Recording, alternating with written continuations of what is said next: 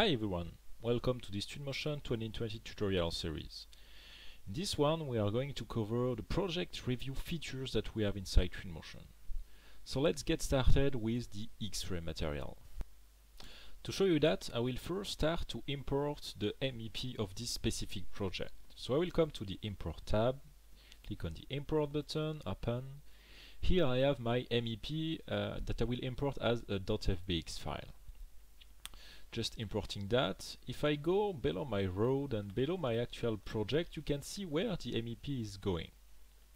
What I want to do with the X-ray material is having the possibility to see that when I'm above the ground. So to do that, it's pretty simple. You just use the material picker, you click on the on the geometry uh, you want to activate the X-ray on, like here we have the used water uh, pipes now that this material is selected, I have the selection dock of this material, I can come to the settings and here we have a new option that we call X-ray. When you turn this option on, this geometry, this object will now be displayed on top of everything.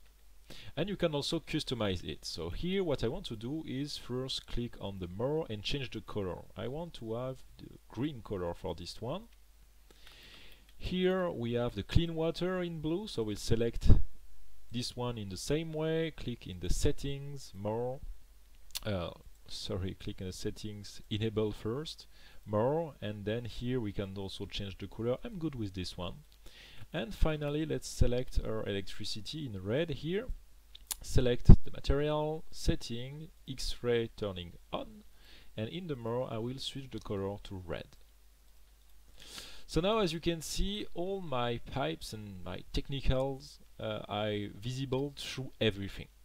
But I don't need that at um, on top of everything all the time. So what I will do now is open the scene organizer. So here I have my FBX file that I've imported with just my MEP. I can turn this on and off. And what I can also do is create a phasing. So let's start by clicking on the plus to create a first phase. This will be um, the, the phase with the MEP. So I'm going to rename that phase MEP. I can actually remove the phase. And what I will do now is hide my MEP, click on the plus to create a second phase. Let's rename that project final. And now I have two phases. Actually, I don't need my library anymore. I have two phases where I can switch from one to another. So I can, for example, here start walk through my project, making a project review with my client. And at some point, if he asks me where is the pipe going inside the project, I can just switch to the phase, to the MEP phase, and now we can see where the pipes and the vents are. The next feature I want to talk about is the note tool. To show you that, I will switch to another project. This new project has been created by Delta Architecture AS. I'm using this one because it has a direct link with ArchiCAD and the notes I'm going to place inside the project I will be able to export them back to ArchiCAD but we'll see that in a moment. Let's start with the note. I will come to the tools folder inside the library, enter the notes folder. If I want to add a note to my to my project, just basic drag and drop from the library to the viewport and my note is here. I can move my note in any direction, I can move it up if I want. If I want to customize my dot, it happens in the dock over here. I can change the title, the description, I can change the alignment of the text, I can change the size of my note, I can change the color of it, and I can also enable it to face always the camera so when I'm moving uh, inside the project I will always be able to see uh, the, the, text on my note. Finally, it also captures a thumbnail. This thumbnail will also be exported back to ArchiCAD and we'll see that later. Let's pretend that I'm making a project review with my client and we see uh, that we need to add some changes back in ArchiCAD but we don't want to make those changes on the fly. The idea that one of the idea that you can use the note for is like um, making like for example highlighting the change that needs to be made inside ArchiCAD. So for example here I will just rename uh, my note, change something here. You just add the description of the note, change the geometry, it can be whatever you want, it can be a problem in, in the geometry, it can be just like changing the material or something. So you can create your note like that. Also your note, here as you can see you have a minus icon, so you can collapse the note and you just have the title and you can open this note back. So you can create any number of notes inside your project. So here I can have another one over here. I can change the size of this one if I want. I can also select the box over here and move it directly where I want. If I want to have it above the plus and minus icon, I can just select it and place it where I want. Once I have placed all my notes, I can now export them back to ArchiCAD or Revit or any, any um, CAD software that support the BCF format. To do that, I will come inside my burger menu over here. I will click on Export BCF file. I will send that to my desktop. It's done. Let me now switch back to ArchiCAD. In ArchiCAD, I'm going to use the markup tool over here to import my note. To import my note, I will just click on Import Markup Entries. Here I have my BCF file of this project. I will just click on Open. And here, as you can see, I have my two notes that I have added inside Twinmotion. If I click on it, if I select it, as you can see here, we have the thumbnail. So for example, if you spotted a problem inside a geometry inside your, your Twinmotion file, you can just add a note, change that. It captures the position of the camera over here. So when you are back inside ArchiCAD, you know what needs to be changed. And you can also open this image in a, in a bigger preview over here. If I come back to my markup tool, here when you select the note, you also have the description down here. So you have the title, modification, and then here you have the description, change something.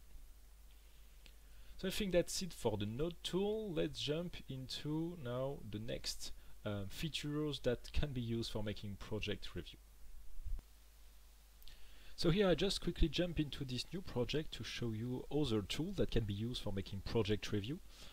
Um, those tools are not new to Twinmotion 2020, they already exist from a previous version, but I still want to cover them because it's more relevant to the overall topic of this video. So let's start with the measure tool. This measure tool is here in the library, so under the tools folder, measure.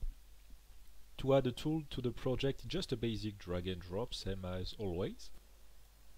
By default, when you drag and drop a tool into your project, it will automatically align the measure perpendicularly to the geometry you are dropping the measure on. So for example here, it will trace a ray basically, and when it touches a geometry, it will stop, and it gives you the, the length uh, between the two different points. So let's have a look at the option at the bottom. We'll see constraint a bit later.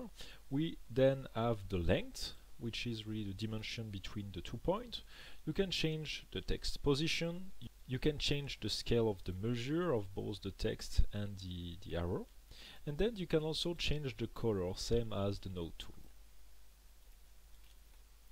If you want to actually let me start first to change the camera. Here I need to see a bit my floor and my roof.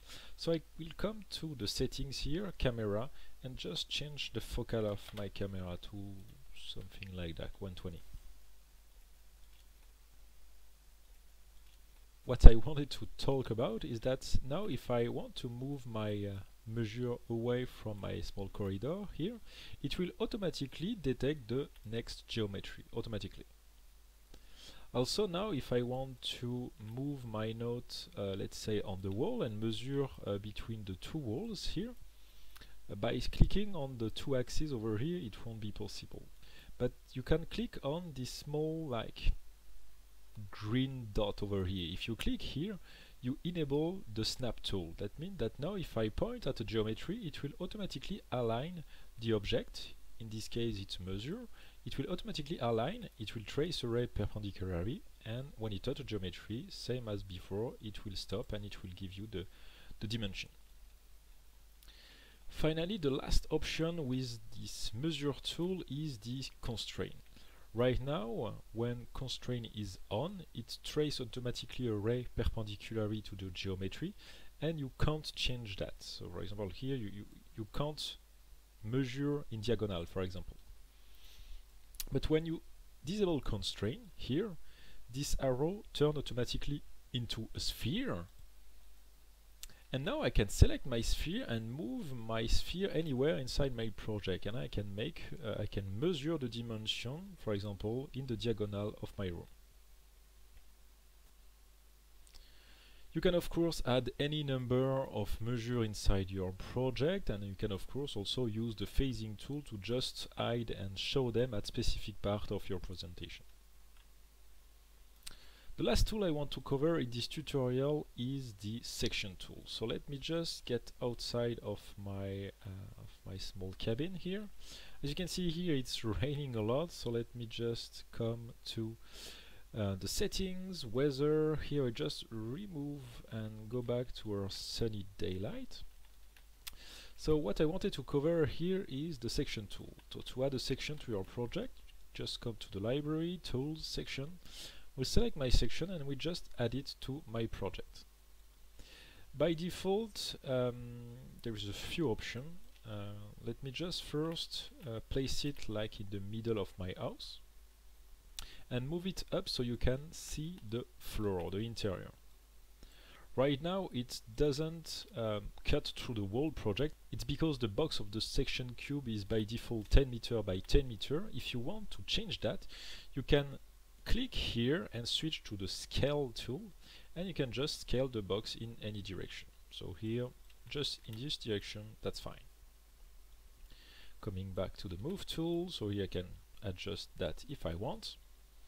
And then in the dock, I have a few options. So I can turn this on and off. I can change the color of um, where the geometry cut, we have this bleeding effect here that helps you understand where it is cut by this cut volume. So you can change that, for example, you can switch it red, and you can change the, the bleeding of this cutting effect. And finally, what you can also do is invert the, the cut, so you can just see what's inside the, the volume. And I think that's pretty much it for this tutorial regarding project review. Hope you guys enjoy and see you for the next one. Thanks!